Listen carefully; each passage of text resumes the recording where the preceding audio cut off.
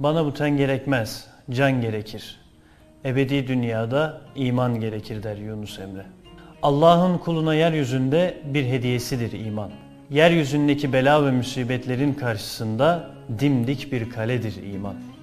İmtihan için geldiğimiz bu dünyada soruların cevabını doğru verebileceğimiz bir kalemdir iman.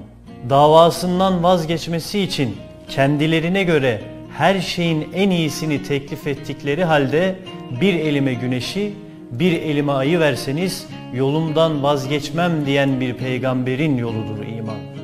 Yeri geldi annelerini, yeri geldi babalarını, yeri geldi her şeylerini kaybettikleri halde anam babam sana feda olsun ey Allah'ın Resulü diyen sahabe efendilerimizin sarsılmaz gücüdür iman.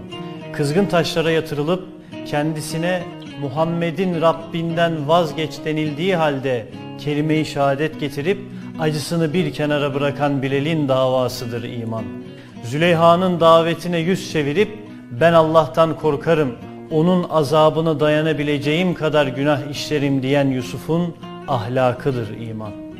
Bunu böyle saya saya bitiremeyiz. O yüzden bize verilen bu imanı doğru yola kullanalım. Doğru bildiğimiz yola değil.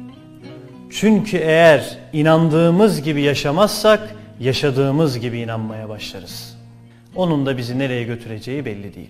Kitapta der ki Allah imanınızı boşa çıkaracak değildir. Tam aksine o size çok şefkatli ve merhametlidir.